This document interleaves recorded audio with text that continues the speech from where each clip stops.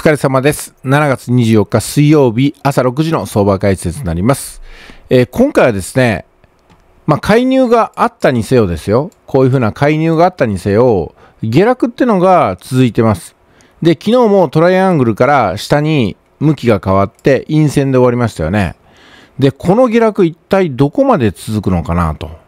で、おそらく私はこの161円で介入が入った時を境に、えー大統領選のこともあってですね、なんかこれからはね、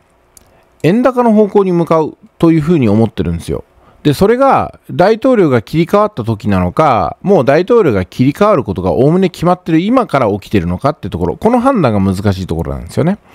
まあですんで、そういったものを長い時間軸では意識しながら、で、4時間、1時間などの短い時間軸では、まあテクニカル通りに見ていこうかなというところですね。まあこういった考えでこれからも見ていこうかと思います。となると、この1日足っていうのは、おおむね、もう高値っていうのをね、更新することなく、これから155円とか154円の方向に行くかなっていうのが主な向きです。もう160円に向かうことは、当面ないだろうと思いますし、もしかしたらこのまんま政権が変わって、来年の1月でしたっけね。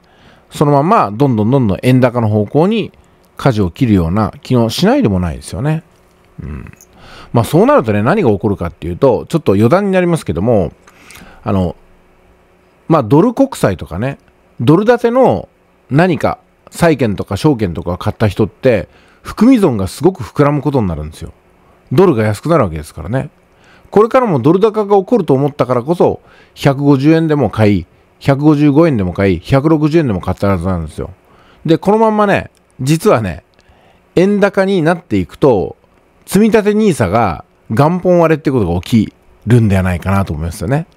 積み立て NISA って4割ぐらいが、アメリカ由来の、これ国債とか、債券とか証券買ってますからね。それもなんで、積み立て NISA でドル建てを選ぶかっていうと、ドルが強いっていう信仰が、これからも続くというふうに盲信してからなんですよ。つまりは、ドル高円安が進む進むと思ってる人が、積み立て NISA でドルを選ぶ。これが王道だったんですよね、長い間。しかし、これがもうね、終わるかなっていうところで、結局、こっから、ドル建ての国債などが値下がりしていけば、買わしたもん勝ちのアメリカが得をするだけなんですよ。で、さらに日本円がどんどん売られていったってことが、あだになるわけですよね。ちょっと難しい話になりますので、この辺にしておきましょうか。で、ドル円の私たちの FX に、えーなぞらえてみますと、私たちは、そのトレード単位の含み損、含み益っていうのは出ますけども、長期の投資をしてるわけではないですからね。FX っていうのは短期投資のあの集まりですから。数時間単位で決済する短期投資を毎日やってるだけですからね。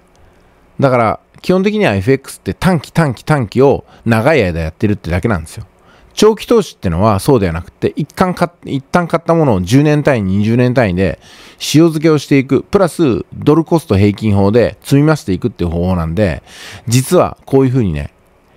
ドル高から円高に変わった時ってむちゃくちゃリスクが顕在化するんですよ。もしかしたら NISA 崩壊かもしれません。まあ NISA に恨みがあるわけじゃないんですけどね。私はそのように思ってるんで NISA には参加しないですね。はい。では次4時間です。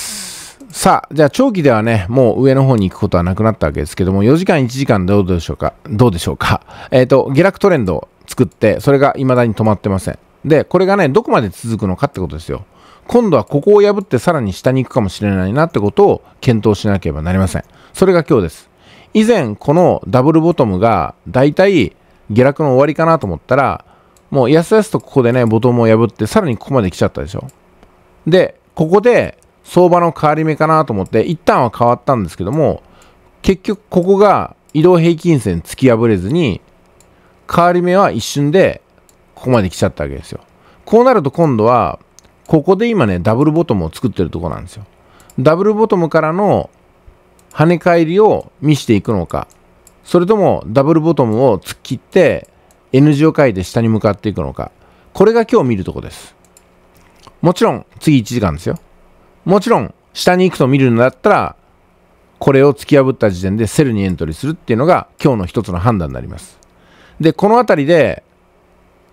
跳ね返って上に行くようでしたら、移動平均線にぶつかってどっちに行くのかなってことを見る。それが次の判断です。今日はそこを見ていきましょう。それでは。